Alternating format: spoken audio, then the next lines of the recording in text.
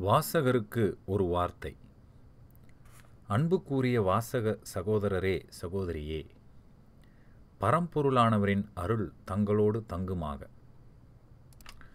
நமது பரலோகத் தந்தை எனக்கு வெளிப்படுத்திய உண்மைகளில் சிலவற்றை எனது இந்து இஸ்லாமிய கிறிஸ்தவ சகோதரர்களோடு பகிர்ந்து கொள்ள விரும்பி இப்புத்தகத்தை எழுதுகிறேன். இதன் மூலம் நான் கண்ட ஒளியினை என் சகோதரரும் காண வேண்டும். எனக்கு கிட்டும் மோட்சப் பதவி என் சகோதரருக்கும் கிட்ட வேண்டும். என்னை எட்டிய எச்சரிப்பு என் சகோதரரையும் எட்ட வேண்டும். என்பதுவே எனது முதல் நோக்கமும் கடைசி நோக்கமும் ஆகும். இப்படி நான் பகிர்ந்து கொள்ளாவிட்டால் அப்போஸ்தலர் பவுல் என்னும் பக்தன் கூறியபடி எனக்கு ஐயோ. அப்போஸ்தலர் பவுல் கூறியதை வேதாகமத்தில் ஒன்று குருந்தியர் ஒன்பதாம் அதிகாரம் பதினாறாம் வசனத்தில் பார்க்க. மெய்ப்பொருளானவர் எனக்கு வெளிப்படுத்தின உண்மைகளை நான் எழுதும்போது மிகவும் கவனத்துடனும் தியானத்துடனுமே எழுதியிருக்கிறேன்.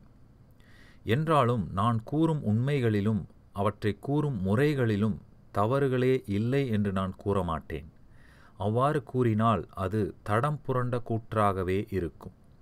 ஆகவே ஒருவேளை இப்புத்தகத்தில் தவறுகள் இருக்கலாம்தான் அதற்கு இரண்டு முக்கிய காரணங்கள் உண்டு. ஒன்று தவறுகளே செய்யாத அளவுக்கு பரிசுத்தனாக நான் இன்னும் ஆகவில்லை. அப்படிப்பட்ட பரிசுத்தனாக ஒரு நாள் ஆகத்தான் போகிறேன் என்கிற நிச்சயமும் சந்தோஷமும் எனக்கு உண்டு. ஆனால் நான் கூற வேண்டியதை கூறுவதற்கு அந்த நாள் வரை பொறுத்திருப்பது கூடாது. அடுத்து இறைவனை பற்றிய பெரிய உண்மைகளை மிகச் சுருக்கமாகவே நான் கூற வேண்டியதாக இருக்கிறது. ஆகவே அதிகப்படியான விளக்கங்கள் இல்லாமல் சற்று உத்தேசமாகவே பலவற்றை கூற நேர்ந்திருக்கிறது. உத்தேசமான கூற்றினை மிக உண்மையான கூற்றாக எடுத்துக்கொள்ளும்போது அது தவறாக போய்விட வாய்ப்பு உண்டு. பம்பாய் அதாவது மும்பை திருவனந்தபுரத்திலிருந்து ஆயிரம் மைல் தூரம் வடக்கே இருக்கிறது. என்னும் கூற்று சுருக்கமானது உத்தேசமானது சரியானது. ஆனால் இதை ஒருவன் அப்படியே எடுத்துக்கொண்டு திருவனந்தபுரத்திலிருந்து புறப்பட்டு நேர் வடக்கே சரியாக ஆயிரம் மைல் சென்றானென்றால் அவன் நிச்சயம் பம்பாயை அடைய மாட்டான். கூறுபவர்கள் கவனமாக கவனமாகவும் சரியாகவும் கூற கடமைப்பட்டிருக்கிறார்கள் என்பது எப்படி உண்மையோ அதுபோலவே கேட்பவர்களும் கவனமாகவும் சரியாகவும் புரிந்து கொள்ள கடமைப்பட்டிருக்கிறார்கள் என்பதும் உண்மைதான்.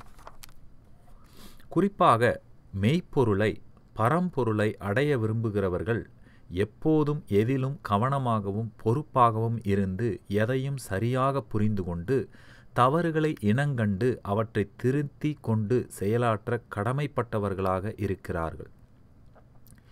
இன்னொரு முக்கிய காரணமும் உண்டு. இறைவன் தம்மை பற்றிய உண்மைகளை எனக்கு மட்டும்தான் வெளிப்படுத்தியிருக்கிறார் என்பது இல்லை. என்னைப் போலவே தாங்களும் இறைவனின் பிள்ளைதான். ஆகவே தங்களுக்கும் கூட பல உண்மைகளை இறைவன் தெரியப்படுத்தித்தான் இருப்பார். ஆகவே நான் இறைவனை பற்றி எழுதியவற்றில் தவறுகள் இருப்பின் எனது தவறுகளை சுட்டிக்காட்டி திருத்த வேண்டிய பொறுப்பு தங்களுக்கும் நிச்சயம் உண்டு. நாம் அனைவருமே உண்மையை தேடி கண்டுபிடிப்பதில் ஒருவருக்கு ஒருவர் உதவ கடமைப்பட்டிருக்கிறோம். இப்புத்தகத்தில் கூறப்பட்டிருக்கும் உண்மைகளை எனக்கு வெளிப்படுத்துவதற்காக எத்தனையோ சகோதரர்களை இறைவன் மறைமுகமாகவும் நேரடியாகவும் பயன்படுத்தி இருக்கிறார் என்பது உண்மை. அவர்களுக்கு நான் பட்டிருக்கும் நன்றி கடன்தான் எத்தனை பெரிது. என் அனுபவத்திலிருந்து ஒன்றை கூறுகிறேன். இறைவனை குறித்து யார் உங்களிடம் கூறினாலும் சரி மிக பெரும்பாலோரது கூற்றுக்களில் உண்மைகள் தவறுகள் இரண்டும் கலந்தேதான் இருக்கும். ஆனாலும் தவறுகளை விலக்கிவிட்டு உண்மைகளை புரிந்து கொள்ள உங்களால் முடியும். இப்பகுதியில் உள்ள சில வாக்கியங்களில் எழுத்து பிழைகளும் இலக்கண பிழைகளும் இருக்கத்தான் செய்கிறார்கள் என்றாலும் இப்பிழைகளை மீறி வாக்கியத்தின் பொருளை உங்களால் உணர்ந்து நிச்சயம் முடிகிறதே. இதில் ஆசிரியர் பிழைகளுக்கு தவறான லாவையும் சில இடங்களில் தவறான எழுத்துக்களையும் உபயோகப்படுத்தி இருக்கிறார் இருந்தாலும் படிப்பவர்களுக்கு வாசிப்பவர்களுக்கு அது தெளிவாக புரிகிறது. இது எதனாலெனில் பிழைகளை ஒதுக்கிவிட்டு வாக்கியத்தின் பொருளை அறிந்து கொள்வதில் முனைப்பாய் இருக்கிறீர்கள் என்பதால்தான். அதுபோலவே மெய்ப்பொருளும் பரம்பொருளுமாகிய இறைவன் மீது அன்பு வைத்து அவரை அறிந்து கொள்வதில் முனைப்பாயிருப்பீர்களானால் இறைவனைப் பற்றி கூறப்படும் தவறுகளை விலக்கிவிட்டு அவரை பற்றிய உண்மை பொருளை கண்டுகொள்வீர்கள். தவறுகள் உங்களை தடுமாறச் செய்தாலும் நீங்கள் விழுந்து விடாமல் முன்னேறிச் சென்று உண்மை பொருளை கண்டுகொள்ளவே செய்வீர்கள். ஆனாலும் ஒரு கேள்வி கேட்கப்படத்தான் வேண்டும். இறைவனை குறித்து ஏன் உண்மைகளையும் பொய்களையும் கலந்தே கூறுகிறார்கள்? ஏன் உண்மைகளை மட்டுமே கூறக்கூடாது? உண்மைகள் தவறுகள் அதாவது பொய்கள் இரண்டையும் கலந்துதான் பலர் கூறுகிறார்கள் என்கிற நிலை எப்படி வந்தது? இவைகள் ஆழமான கேள்விகள்தான் இப்புத்தகத்தில் கூறப்பட்டுள்ள உண்மைகளை கிரகித்துக் கொள்ளும்போது இக்கேள்விகளுக்கான பதில்களை தெரிந்து கொள்வீர்கள். ஒரு உண்மையை கூறுகிறேன். கடவுள் என்று ஒருவர் உலகிலும் மனித இருதயங்களிலும் இருக்கிறார் என்பதை அறியாமல் இருந்து அவ்வறியாமை காரணமாக கெட்டுப்போய் மோட்ச பதவியை இழந்து போக இருப்பவர்கள் கொஞ்சம்தான். ஆனால் கடவுளுக்கு எதிரி என்று ஒருவன் இவ்வுலகிலும் மனித இதயங்களிலும் இருக்கிறான் என்பதை அறியாமலிருந்து அவ்வறியாமை காரணமாய் கெட்டுப்போய் மோட்சப் பதவியை இழந்து போக இருப்பவர்கள் மிக மிக அதிகம். இந்த எதிரியின் செயல்பாடுகளால் தான் மனிதர்கள் நல்லது எது கெட்டது எது என்பதை சரியாக தெளிவாக அறிந்து கொள்ள முடியாமல் குழம்பி போயிருக்கிறார்கள். செய்வது அனைத்தும் நல்லதாகவே செய்ய முடியாதவர்களாகவும் தீயது அனைத்துமே தவிர்க்க முடியாதவர்களாகவும் இருந்து நன்மையையும் தீமையையும் கலந்தே செயல்பட்டு வருகிறார்கள். இதனால் தீமை பெருகி இந்த உலகமே வனாந்தரமாக ஆகிக் கொண்டு வருகிறது. இதை நாம் பார்க்காமலா இருக்கிறோம் இப்பிரபஞ்சத்தில் கடவுளுக்கு எதிரி இருக்க முடியுமா? உங்களுக்கு கேள்வி எழலாம். ஒரு குடும்பத்தில் தந்தைக்கு எதிரி இருக்க முடியுமா? இக்கேள்விக்கு பதில் முடியும் என்பதுதான். தந்தை மேல் அன்பும் மதிப்பும் வைக்காமலும் அவரது சொல்லுக்கு கீழ்ப்படியாமலும் பிள்ளைகள் இருப்பார்களானால் அப்பிள்ளைகளை விட பெரிய எதிரி தந்தைக்கு யார் இருக்க முடியும்? முடியாதே. அப்படிப்பட்ட ஒரு குடும்பத்தைப் போல்தான் கடவுளின் குடும்பம் இப்போது இருக்கிறது. இந்த குடும்பத்தில் ஒரு பிள்ளைதான் நீங்கள் நானும் அப்படியே. இக்குடும்பத்தில் மூத்த பிள்ளையாக படைக்கப்பட்டவன் லூசிப்பர் என்கிற தேவதூதன். லூசிப்பர் என்றால் பேரொளி செல்வன் என்று பொருள். அவ்வளவு அழகுள்ளவனாகவும் அறிவு உள்ளவனாகவும் வல்லமை உள்ளவனாகவும் அவன் படைக்கப்பட்டான்.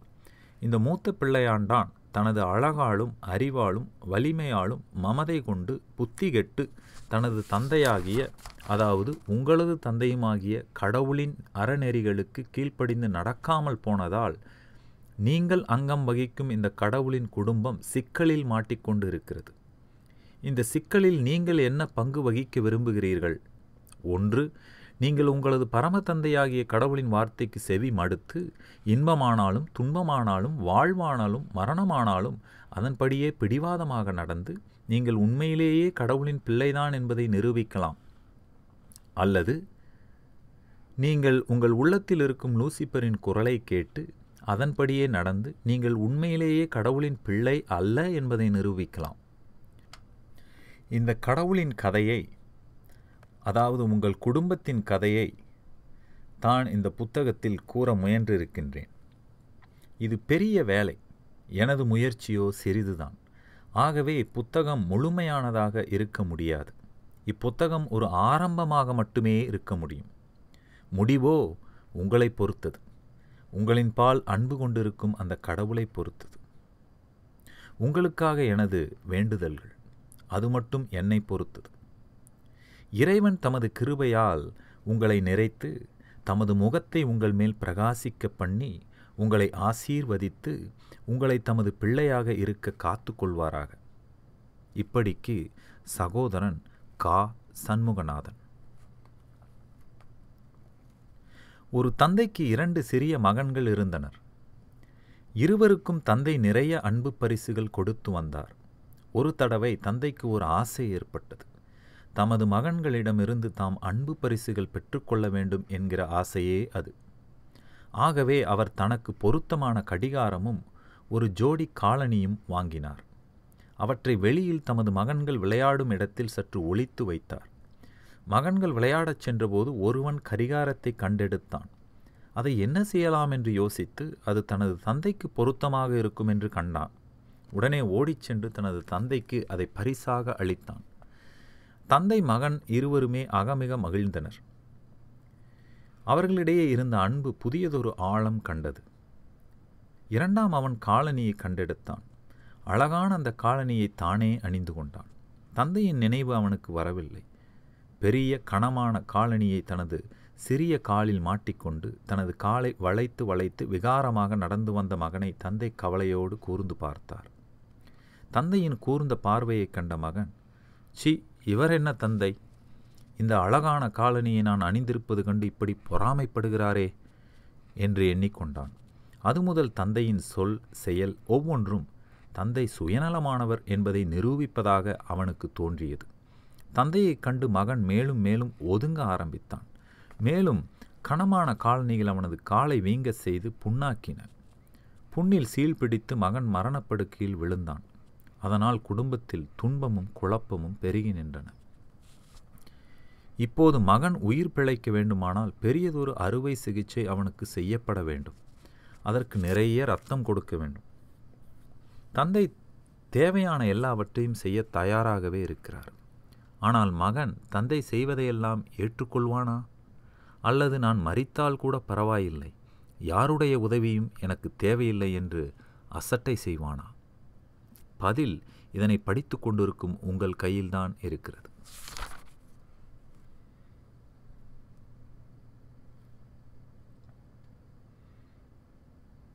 பொருளடக்கம். இந்த புத்தகத்தில் ஏழு அதிகாரங்கள் உள்ளன. முதல் அதிகாரம் தலைப்பு இறைவனின் எச்சரிப்பு. அதாவது ஒரு வகையில் இல்லாவிட்டால் இன்னொரு வகையில் இறைவன் எல்லா மனிதரோடும் பேசத்தான் செய்கிறார். நின்று கேட்கும் மனிதர்கள்தான் மிக குறைவு. இரண்டாவது அதிகாரம் தலைப்பு ஓர் அன்பு கடவுளின் கதை. சிறிய விளக்கம். இவ்வுலகில் இன்பங்கள் துன்பங்கள் அனைத்திற்குமே இறைவனின் அன்புதான் காரணம். எப்படி? மூன்றாவது அதிகாரம் தலைப்பு உண்மையை தேடுவோருக்கு ஒரு சில விளக்கங்கள். சிறிய விளக்கம். இறைவனையும் அவரது இரட்சிப்பையும் குறித்த கேள்விகள் அநேகம். அவற்றில் பலவற்றுக்கு பதில்கள் இல்லாமல் இல்லை. நான்காவது அதிகாரம். இந்து சகோதர மக்களின் வேதம் எது? சிறிய விளக்கம். இந்து கலாச்சாரத்தின் ஆணிவேர் எங்கே இருக்கிறது என்பது மற்றவர்களுக்கு தெரிய வேண்டாம். ஆனால் இந்துக்களாகி நமக்கு தெரிய வேண்டுமே? ஐந்தாவது அதிகாரம். தலைப்பு கடவுளின் மரணமும் மனிதனின் ரட்சிப்பும் சிறிய விளக்கம். மனிதனுக்காக கடவுள் மரித்தார் என்கிற உண்மை பலருக்கு பிடிபடுவதே இல்லை.